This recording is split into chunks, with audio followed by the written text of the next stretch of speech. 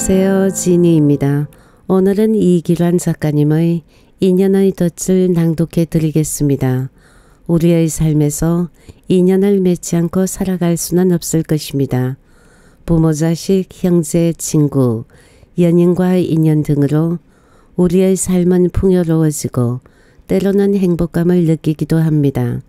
그러나 그러한 인연 중에는 차라리 맺지 말았으면 하는 인연도 있습니다. 본 작품 인연의 덫에 나오는 어머니와 애인은 화사와의 인연을 거부케 하는데요. 어떤 이야기인지 들어보시겠습니다. 좋은 시간 되십시오. 인연의 덫 이길환 겨울 숲은 고소넉하게 침잠되어 있다. 크고 작은 산들이 어제 내린 폭설로 하얀 눈가루를 머리에 이고 엎드려 있다. 어디를 둘러보아도 죽음처럼 쓸쓸한 저격뿐 생명의 가느다란 온기는 보이지 않는다. 잎이 무성했던 화렵수는 나뭇가지를 앙상하게 매달고 있고 침엽수는 바늘잎에 무겁게 눈을 이고 있다. 침엽수의 잎에 쌓인 눈이 금방이라도 와르르 소리를 내며 쏟아질 듯하다. 눈 덮인 산은 포만감을 주면서도 고요함이 바람에 묻어오고 있다. 나는 설경을 보며 문득 벌판을 떠올린다. 눈으로 하얗게 뒤덮인 산은 끝없는 벌판처럼 느껴진다. 나는 하얀 벌판 같은 겨울산을 향하여 천천히 발을 옮긴다. 발을 옮길 적마다 발밑에서 눈이 뽀드득 신음 소리를 낸다. 시오리쯤 인적이 뜸한 산길로 들어가자 봄종의 은은한 소리가 들려온다. 나는 그때서야 은혜사가 지척에 있음을 느끼며 담배를 한 갭이 피워문다. 초행길임에도 숲에 난 오솔길이 초조한 마음을 가라앉힌다. 나는 담배 연기를 허공에 날린다. 내가 불어낸 연기가 허공으로 너울거리며 오르다 사라진다. 그녀의 모습이 아련히 떠오른다. 삶이 자꾸 허망하다는 생각이 들어 눈발이 흩날리는 강변에서 그녀가 힘없이 말한다. 그녀의 얼굴에는 슬픔이 고여 있다. 나는 그녀와 시선을 마주친다. 그녀의 눈에는 금방이라도 눈물이 흘러내릴 듯하다. 나는 무슨 일이 있었냐고 물으려다 그만둔다. 그녀의 어두운 표정 때문에 묻고 싶지도 않다. 그녀가 다시 말한다. 인생이 끝나면 다음의 세계가 있을까? 비도 오지 않고 바람도 불지 않으며 병들지도 않고 늙지도 않는 세계 말이야. 그런 세계가 있을까? 왜 그런 얘기를 해? 그냥 인생이 허무하다는 생각이 들어. 그녀가 진지하게 말하므로 나는 동목처럼 서 있다. 무엇을 말하려는 것일까? 갑자기 인생이 허망하고 인생이 끝나면 다음 세계가 있을까라니. 나는 한동안 그녀를 바라보며 서 있다. 그녀가 다시 무겁게 말한다.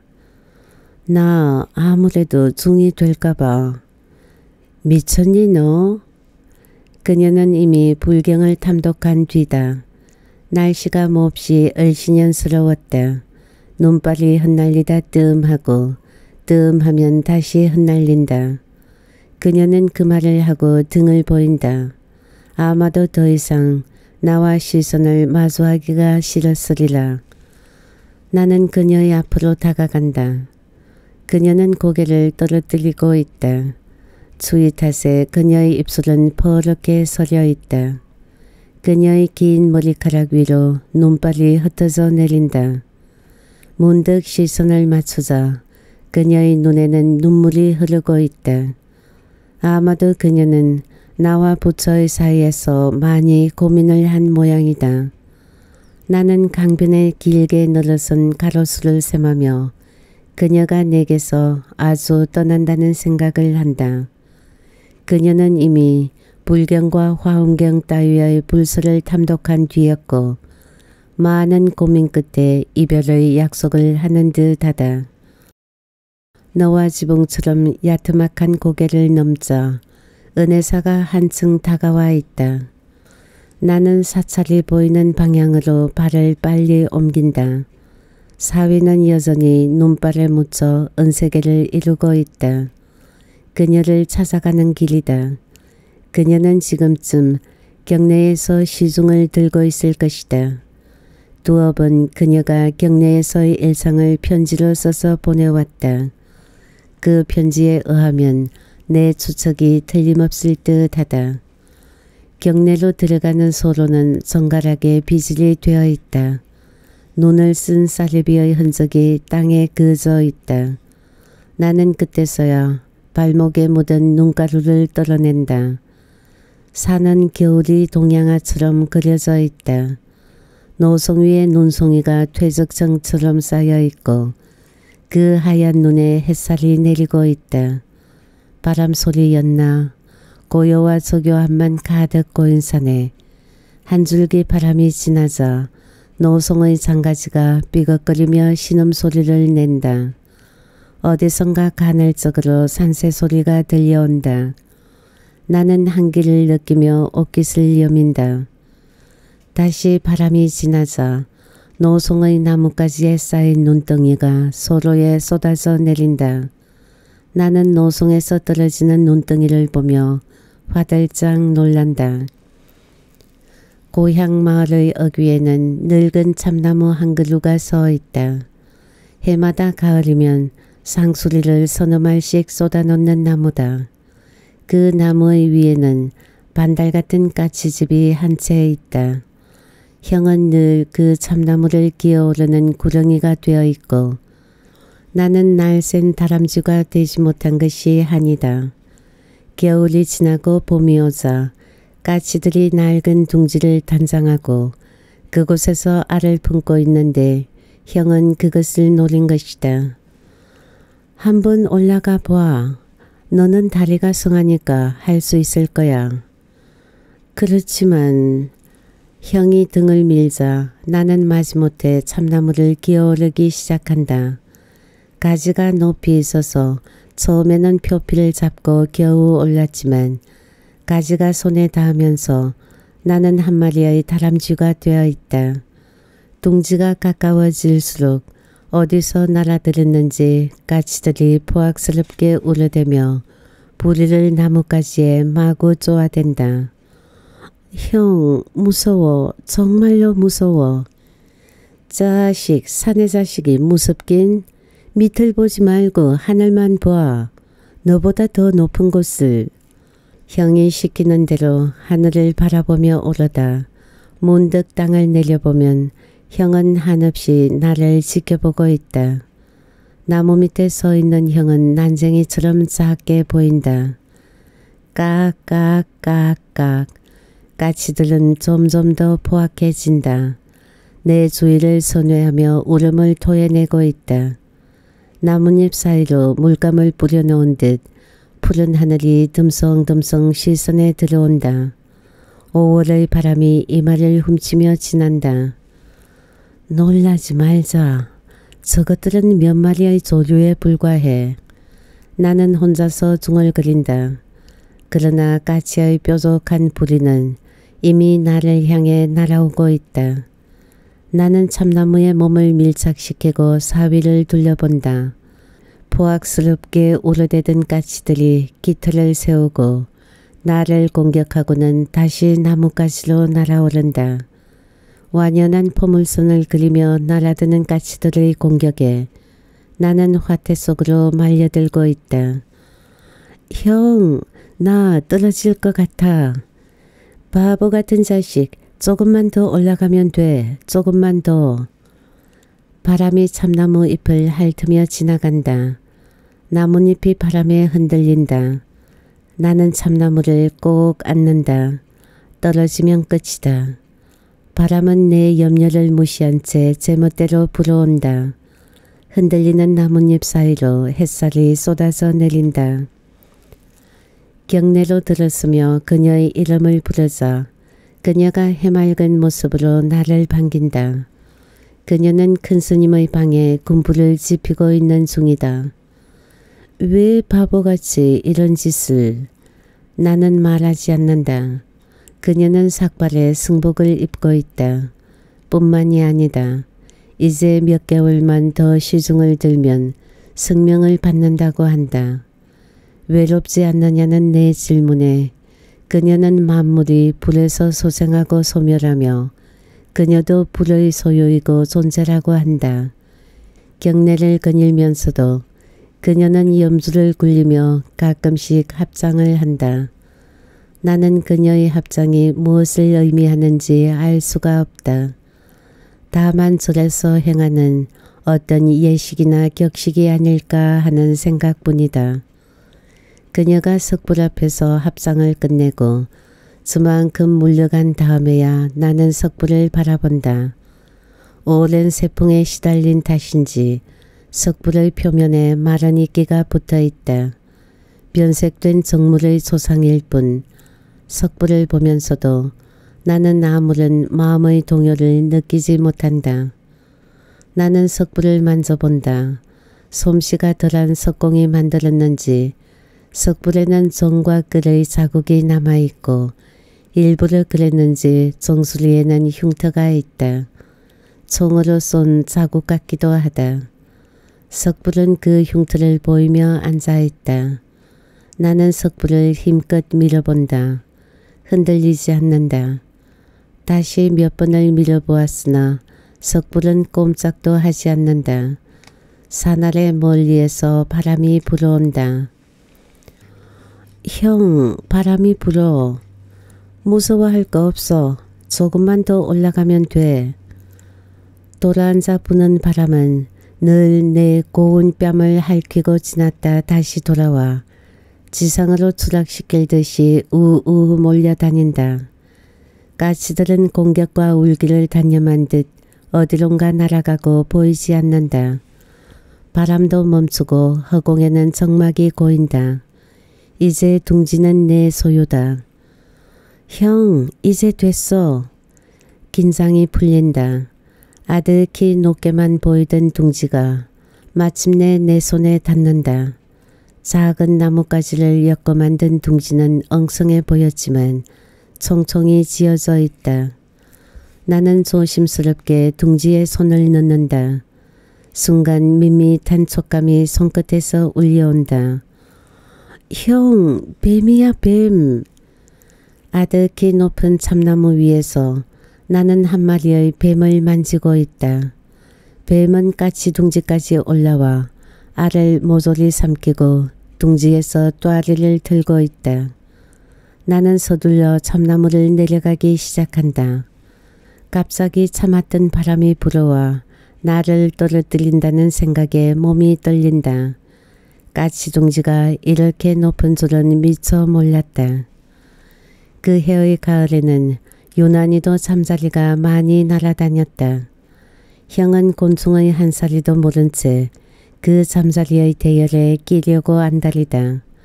곤충으로 변신하는 능력만 있다면 형은 잠자리로 변신했으리라.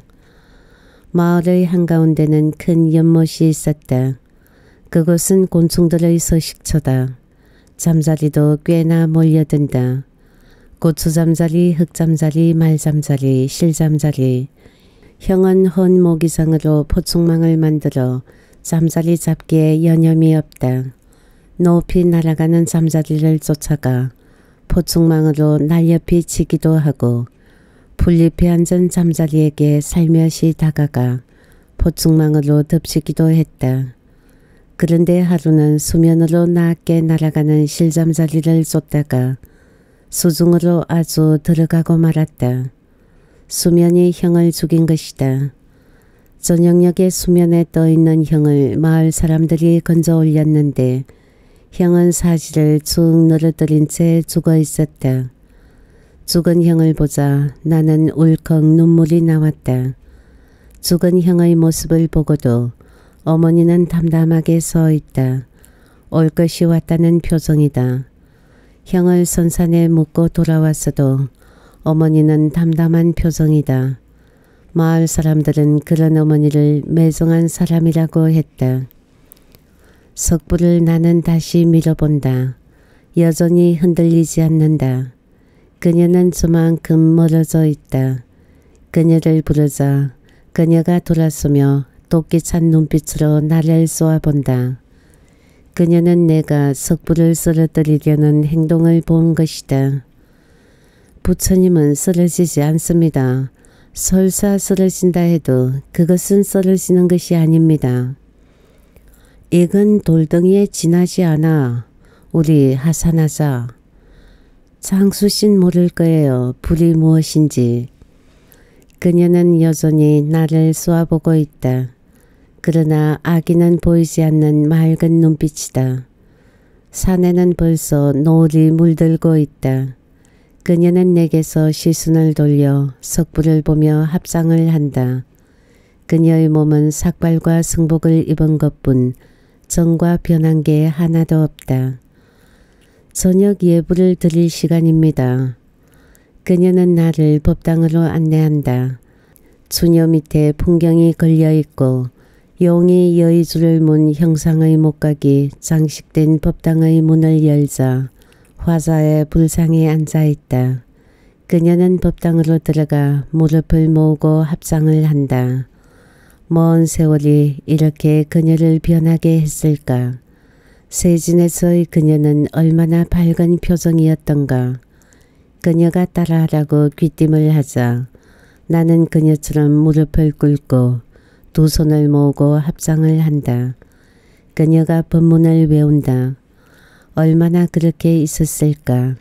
그녀가 막 합장을 끝내고 일어서려는데 어디선가 애잔한 불경 소리가 들려온다. 인간 세계 사람들이 세속의 속세에서 벗어나려 하나 깊은 잠이 맞고 부모를 버리고 외지로 떠난 자식이 고향에 돌아오나 부모가 반기지 않으니 이는 인연이 없음이 아니라 부처님의 뜻이 없음이고 사람이 사람을 미워하는 그의 덕이 없음이로다.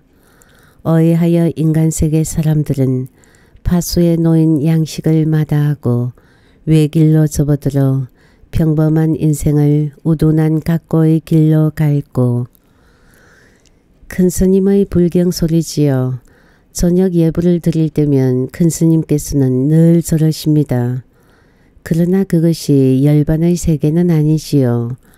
열반이란 도를 완전히 이루어 모든 중고와 번뇌가 끊어진 해탈의 경지를 말합니다. 열반의 세계에 들었다고 생각하면 그것은 진정한 열반의 세계가 아닙니다. 모르는 일이지만 열반의 세계는 무념무상의 상태이며 부처의 존재까지도 모르는 것이 열반의 세계지요. 그럼 누가 열반의 세계에 도달할 수 있는 거지? 모르는 일입니다.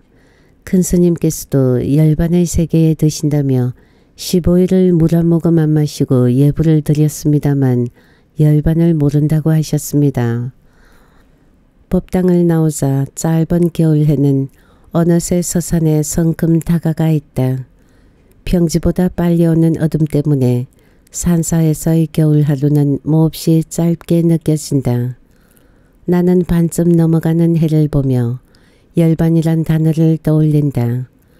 열반이란 무엇일까? 어떤 무지의 경지이기에 그녀를 세속에서 떠나게 했을까? 부끄러움 없이 사는 게 열반이 아닐까? 그렇지만은 않습니다.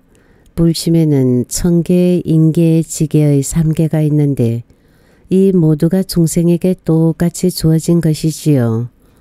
어떤 이는 천계만 찾고 어떤 이는 인계만 찾고 또 어떤 이는 지계만 찾을 뿐 삼계를 다 찾는 이는 이 세상에 없습니다. 그것을 다 찾는다 해도 쉽게 일년계 중생이고 소승도 맨 밑에 눌려진 지게에 눈을 떴을 뿐입니다. 그녀는 나를 그녀가 묵는 방으로 안내한다. 그 방 역시 작은 불상이 화자에 놓여 있다. 몇 권의 책과 낮은 책상, 가지런히 개어진 이부자리만 눈에 뜰뿐방 안은 꾸민 게 없다. 그녀는 법당에서 돌아왔어도 화사에 놓인 불상을 보며 합상을 한다. 나는 화엄경을 빼내어 눈으로 훑어본다. 책갈피에서 얇은 종이 한 장이 바닥으로 툭 떨어진다. 반으로 접힌 노란색 종이다. 아득히 먼 언덕 너머 들소들 무리지어 풀 뜯는 곳에서 내님은 피리를 불고 있네. 노란색 종이를 펼치자 간단한 운문이 연필로 휘어져 있다. 낙서처럼 아무렇게나 휘어진 운문을 나는 두 번이나 읽는다. 그녀도 누군가를 그리워하고 있을까? 세 번째 운문을 읽으며 나는 문득 그녀의 생활이 이게 아니라는 생각을 한다. 감옥에 가둬둔 마음의 결별을 이쯤에서 그녀는 풀어버리고 싶은 게 아닐까. 매일 보는 황량한 땅에서 감아둔 이별의 탭을 그 누군가에게 날려보내려는 것이 아닐까. 그녀가 합장을 끝내고 돌아앉자 내가 말한다. 왜 자신을 외면해 현실은 이 생활이 아닐 텐데 무슨 말인지 나는 노란색 종이를 그녀에게 내민다. 잘못 알고 있습니다. 여기서 내님은 장수 씨가 아니라 부처님이십니다. 인간은 누구나 애성의 본능이 있고 본식의 본능이 있을 텐데 그녀가 돌아앉으며 말한다. 그렇지 않습니다. 장수 씨의 말대로 인간에겐 애성의 본능이 있고 종족 보존의 본능이 있지만 그것을 억제할 수 있는 능력도 존재하지요. 촛불이 방안을 밝히고 있다. 어둠은 문풍지를 등지고 발산하는 불빛에 역류되어 있지만 허락 없이 밀려들어 주위를 짙게 물들이고 있다. 그녀는 회상에 잠기듯 무릎을 모으고 앉아 두 눈을 감고 있다. 선산에 형을 묻고 돌아온 어머니는 감성이 돌덩이처럼 메말라 있었다. 그때 나는 어머니의 방에 있는 한 개의 목불상을 보았다. 부처를 닮은 모습이다.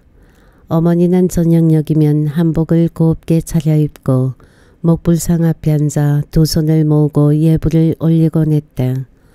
어머니는 언제나 그늘진 얼굴이다. 나는 어머니가 예불을 올릴 때마다 곁에 앉아 예불을 함께 올린다. 지루하고 따분한 시간이다. 너만 없었더라면 어머니는 염주와 목탁을 두 개씩 들고 저녁 예불 때면 네 개도 나누어 주며 그 말을 했다. 너만 없었더라면 열아홉에 시집 와서 중풍으로 고생하던 아버지를 여의고 홀로 집안을 꾸려나가던 어머니다. 사람들은 그런 어머니를 억센 여자라고 손가락질했고 어떤 이는 얼마 못 가 다른 남성네를 만나 개가 할 거라고 했다. 그러나 사람들의 소문은 빗나갔다. 어머니는 억센 여자도 아니고 개가도 하지 않았다. 한 가문의 멍에를 짊어지고 있을 뿐이다. 땀맞이기 턴논을 남에게 소각으로 넘기고 도시로 올라올 때에도 어머니의 손에는 목불상이 붙어 다녔다. 단칸짜리 새빵을 얻어 낡은 가구며 몇 가지 안 되는 생활용품을 정돈할 때도 그 목불상은 벽의 중앙에 놓여 있었다. 어머니는 목상을 보며 만연의 미소를 지었다. 세상에 부처님이란 없느니라 깨달음이 부처이고 석존이며 열애가 되니라. 탐욕을 버리고 노염을 버리고 생로병사의 근심을 버리는 것은 부처가 아니라 자신의 깨달음이니라. 어머니의 일과는 불경을 읽는 것부터 시작해서 그것을 끝내는 것이 하루의 끝이다. 나는 그런 어머니를 민망할 만큼 빤히 보며 지냈는데 내가 성장한 다음부터는 끝없는 번뇌를 혼자서 짊어진 듯 목탁까지 두드리며 울곤 했다. 비라도 질척이는 날이면 어머니가 두드리는 목탁 소리와 연불 소리가 청성맞게 집안에 울린다. 언젠가 어머니가 들여놓은 세상에는 인꼬 한 마리만 남아있다. 여름 장마가 막 지나간 뒤에 문간방 옆에 매달아 놓은 세상에 인꼬 한 마리가 죽어 있는 것을 본 어머니는 아무 말 없이 새를 꺼내 골목의 쓰레기통에 버리고 돌아온다. 아무렇게나 버려진 새를 보며 나는 아버지와 형의 분신이 버려지는 듯해 기분이 영 개운치가 않다. 그러나 어머니는 너무도 태연하게 서 있다. 모든 것이 인연에 의해 태어나고 인연에 의해 소멸하느니라. 비가 내리고 바람이 불고 꽃이 피고 낙엽이 지는 것도 모두가 인연에 의해 생겨나서 인연에 의해 소멸하느니라. 저 새는 인연으로 인해 죽었고 인연으로 인해 다시 소생할 것이니라. 어머니는 혼자서 말하고 있다. 서운해 하실 거 없어요. 인꼬를 치우고 십자매를 기르도록 해요. 인연은 그렇게 쉽게 바꾸는 게 아니다. 자연히 어머니의 목소리가 높아졌고 그럴 때면 안집에서 꼭 싫은 소리가 나온다. 방을 비워주세요. 어떡하죠? 시골에서 시동생이 올라온 데서 군에 간 아들이 온다는군요. 월세방을 무려 일곱 번이나 옮겼음에도 어머니는 그 목불상을 버리지 않았다. 다 어머니 때문에 빚어진 일이다. 월세를 얻어 들어가면 처음에는 안집에서 어머니의 그런 행동을 예측하지 못했지만 날이 가면서 온종일 방에 앉아 어머니가 외우는 불경과 목탁 소리를 안집에서 들었고 우리는 달도 채우지 못하고 이사를 서둘러야만 했다. 그녀는 여전히 등을 돌린 채 말이 없다. 가느다란 불빛이 그녀의 등줄기를 비치고 있다. 나는 촛불에 그려진 그녀의 그림자를 본다. 여윈 모습이다. 법당에서 큰 스님의 불경 소리가 아득히 들려온다. 연상의 여인이 있거든 늘 어머니로 생각하며 젊은 여인을 사모할 때는 항상 누님으로 섬길 것이며 애욕이 생길 때는 그를 억제하려 힘쓰고 언제 어디에 있건 사사로운 감정과 애환에 물들지 않도록 마음을 자제하라. 번뇌를 이기기란 참으로 힘든 거예요. 그녀가 무겁게 말한다. 진정으로 날 못 잊겠어요? 어찌 너를 잊을 수 있겠니? 나는 그녀의 앞에 다가가 앉는다. 그녀의 부푼 아가슴과 승복을 걸친 몸매가 시선에 들어온다. 여전히 예쁜 모습이다. 그녀가 다시 말한다. 욕정을 부릴 수 없을까? 인간의 본능적인 욕정을. 그녀는 힘없이 웃는다. 그녀의 얼굴에 그늘이 내려 있다. 차가운 얼굴이다. 장수 씨도 언젠가는 불이 무엇인지 알게 될 거야. 지난 봄이었나? 한 번은 경내에 쌀이 떨어져 시주를 하러 갔었어. 좋게 말해서 시주지. 동양이나 구걸하는 거지와 다를 바가 없었지. 목탁을 들고 바랑을 메고 도시의 중심을 돌고 빈민촌을 돌 때는 고초가 말이 아니었어. 그때 사람들이 날 보고 뭐라고 했는지 아니? 미친년이지 뭐하려고 중이 됐어? 저런 여자가 사내는 더 밝힌다더라. 따위의 말이었어. 더러는 그러더라. 사내 녀석 대시 따라오며 하룻밤 동침하자고. 나는 뒤도 돌아보지 않았지. 그래도 공양을 하는 사람은 부자가 아니라 빈자의 마음이었어. 그녀는 예부를 마치듯 조심스럽게 말을 끝낸다. 많이 망설이다 말한 모양이다. 밖에는 눈발이 휘날리고 있다. 눈 속에 묻혀오듯 법당에서 큰 스님의 불경 소리가 아득히 들려온다. 연상의 여인이 있거든 늘 어머니로 생각할 것이며 젊은 여인을 사모할 때는 항상 누님으로 섬길 것이며 애욕이 생길 때는 그를 억제하려 힘쓰고 언제 어디에 있건 사사로운 감정과 애환에 물들지 않도록 마음의 자세에 힘써라. 번뇌란 참으로 힘든 거예요. 그녀가 불쌍해서 시선을 돌리며 짧게 말한다. 방 안은 추위가 엄습해 온다. 얇은 벽지에 성에가 하얗게 붙어 있다. 위풍이 잦은 위력으로 스며든다. 방바닥은 한데나 다름이 없다. 나는 벽으로 다가가 뽀얗게 붙은 성에를 손등으로 훔친다. 벽지가 누렇게 변색되어 있다. 벽지는 어머니가 입었던 노른 앞치마처럼 측은해 보인다. 보아라. 모든 것이 인연이 있기에 죽은 것은 죽음으로 만나고 산 것은 삶으로 만나지 않느냐. 세월이 인연이니라. 세상에 남아있던 인코 한 마리마저 죽은 뒤였다. 어머니는 인코를 손바닥에 올려놓고 말한다. 왜 죽었을까? 나는 그때서야 인코의 죽음에 대해 관심을 가졌지만 왜 죽었는지 알 수 없다. 인코는 두 날개를 곱게 접고 죽어 있는데 시신은 추한 물건이다.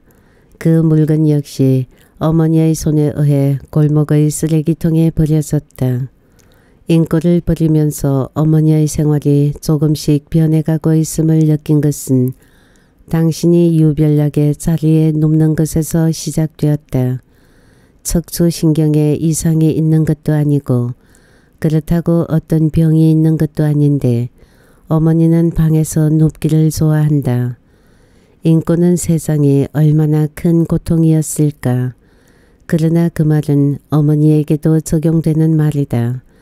절망으로 둘려진 세상이 인고는 고통이고 어머니도 인고처럼 사각으로 둘려져 늘 어둠이 고인 방이 숙명적인 고통이다. 그런 음산한 방에서 어머니는 인고처럼 갇혀 지내고 있다. 바깥 출입이 없는 어머니의 방문을 열면 매캐한 냄새가 코끝을 찌른다.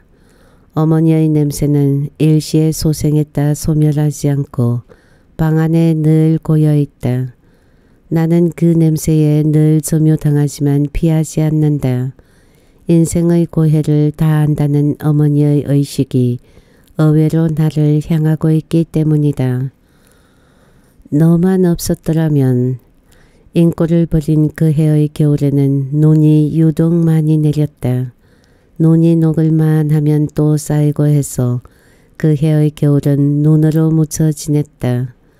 어머니는 자주 내리는 눈을 보며 풍년이 들 징조라며 좋아했다.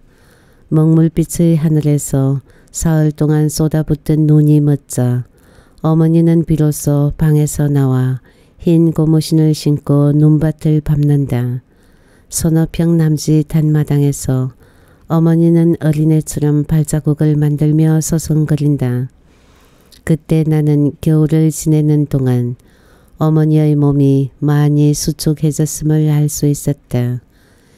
괜찮으시겠어요, 어머니? 염려 마라. 이래봬도 마음은 열여덟의 처년이라. 어머니는 장독 뒤에 시선을 주며 말한다. 나는 어머니의 시선을 쫓는다. 동백나무 분재 하나가 몸을 떨고 있다. 지난 가을에 손수레 장수에게 물건보다는 싼 값으로 들여놓았는데 이사를 오면서 그곳에 방치해 놓은 것이다.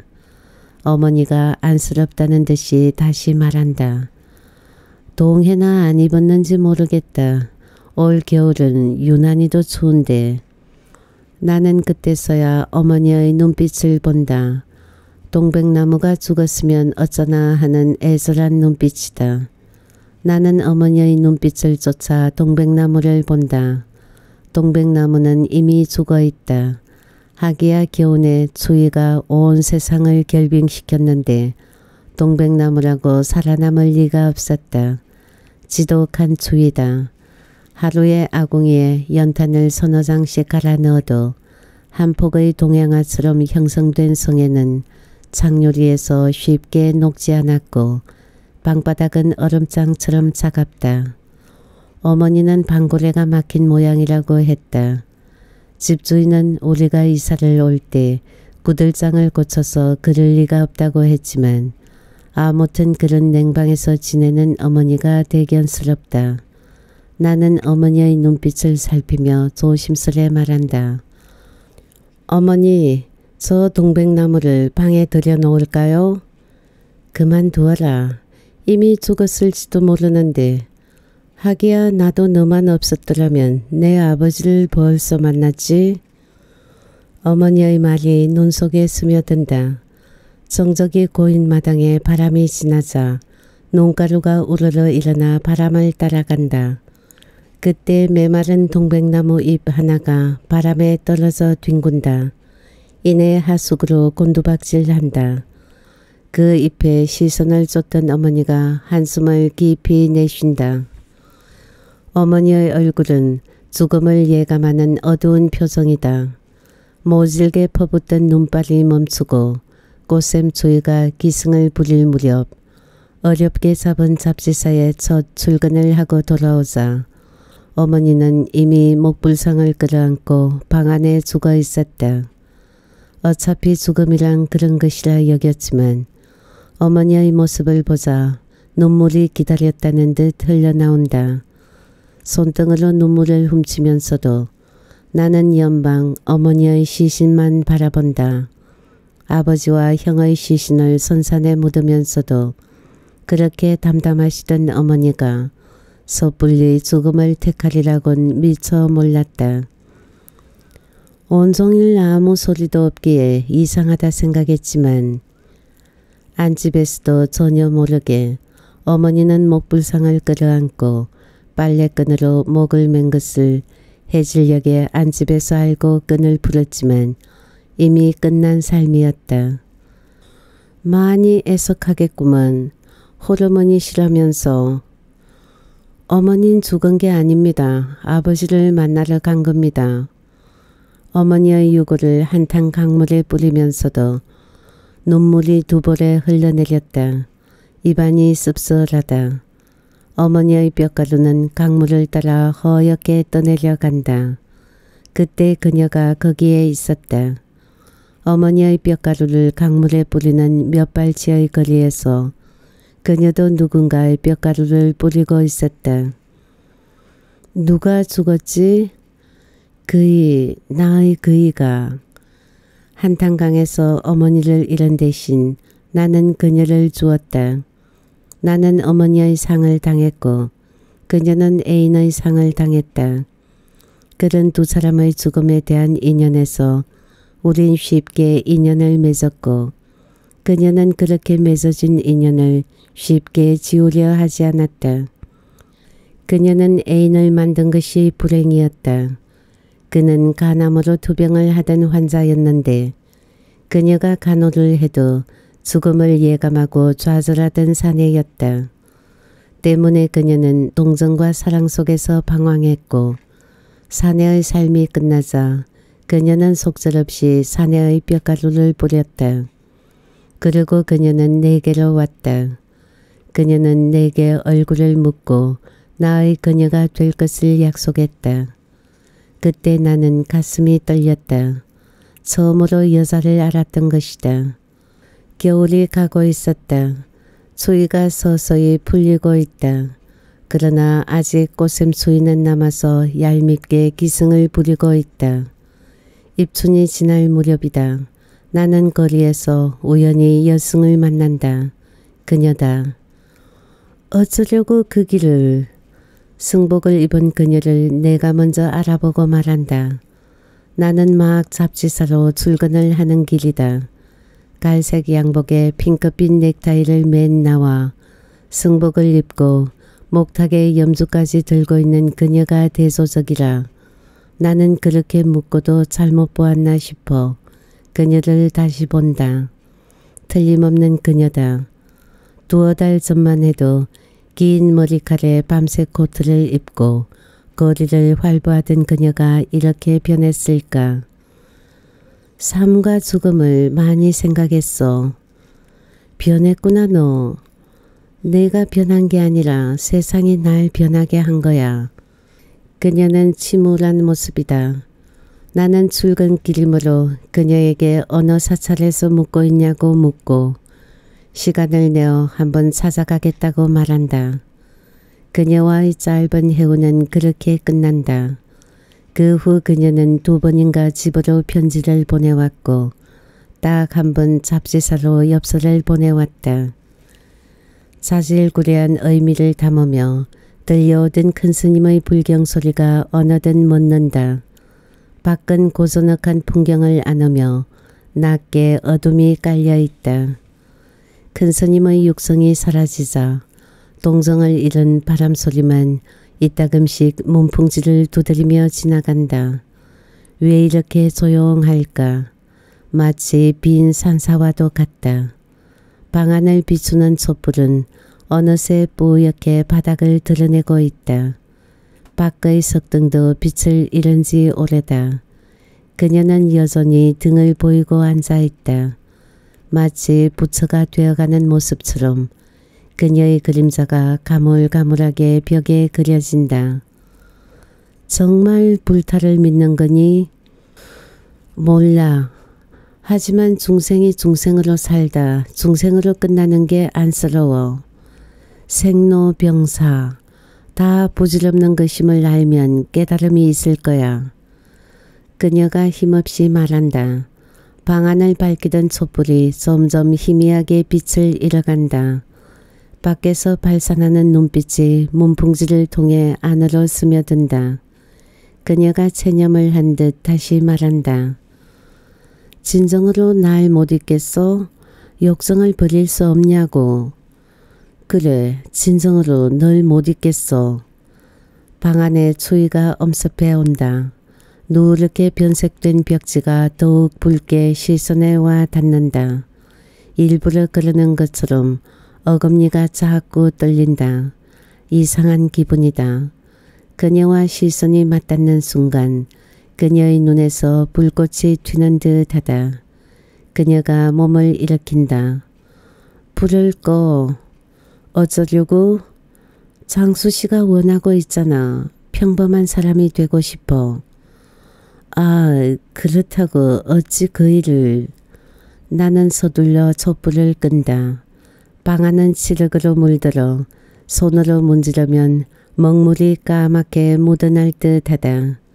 그때 희고 강한 물체가 어둠의 저편 구석에서 내 앞으로 휙 쓰러지는 윤곽이 시선에 들어온다. 나는 다시 성냥을 찾아 양초의 심지에 불을 붙인다. 아니 이럴 수가. 이런 혀를 물었잖아.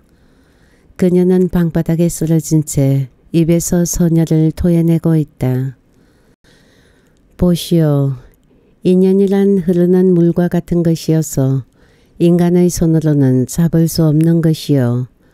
그 인연이란 것이 때에 따라서는 불이 되고 또 때에 따라서는 악이 되는 것이요. 또한 타인이 되어 돌고 도는 것이 인연이요. 불타께서도 사람들의 인연이란 참으로 험난한 것이어서 믿을 게 못 된다고 하였소. 가시오. 인간 세상으로 내려가시오. 문 밖에는 어느새 큰 스님이 와 있다. 그럼 스님께서는 이 일을 이미 알고 있었단 말씀이십니까?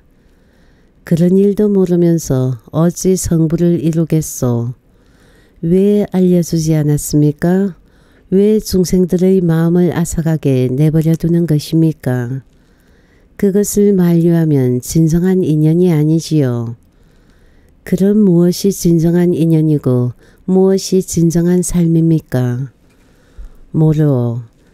하지만 이승에서의 삶은 한낱 일장 춘몽과 같은 것이어서 잡을 수도 잡히지도 않는 게 삶이고 무지개와 같은 뜬구름만 찾아 헤매다 끝나는 것이 이승의 삶이지요.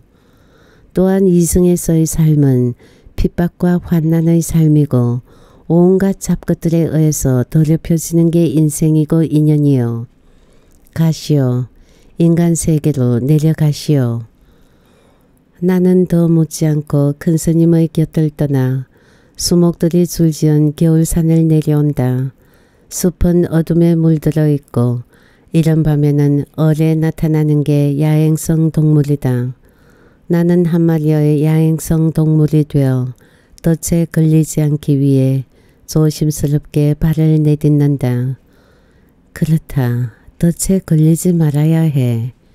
비록 천박한 땅 밑을 주행하는 두더지가 되더라도 덫에 걸리지 말자. 언젠가는 내게 또 다른 인연이 찾아와 훈풍을 일으키며 맴돌 것이야. 그리고 아무도 범접하지 못할 엄숙하고 평화로운 몸짓으로 내게 동조의 눈빛을 보내고 별만이 반짝이는 아득한 곳으로 사라질 것이야. 인연을 두려워 마라. 그것을 모르는 사람에게는 욕정으로 보이지만 참는 사람에게는 늘 부처님의 은혜가 있느니라. 다시 발을 내딛자 멀리서 큰 스님의 불경 소리가 들려온다. 아득하게. 그러나 또렷이 들려오는 불경 소리는 나를 두고 큰 스님이 없는 듯하다. 나는 잠시 고목의 몸을 기대고 불경 소리를 듣는다. 어둠 속에서 어머니가 모시던 목불상의 얼굴이 나타났다 지워진다. 환각이었다. 그러나 또 나타난다.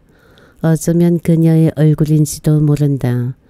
나는 심한 환각을 느끼며 고목에서 등을 돌려 다시 발을 내딛는다. 자꾸 환각이 보인다. 나는 어지럼증을 느끼며 쓰러진다. 몸이 산비탈로 뒹굴다 고목에 부딪힌다. 나는 심한 통증을 느끼며 눈을 감는다. 큰 스님의 불경 소리가 간헐적으로 들려오고 있다. 그리고 그녀가 내 옆에 누워있는 듯하다. 눈이 담요처럼 포근하게 내게 와 나를 덮는다.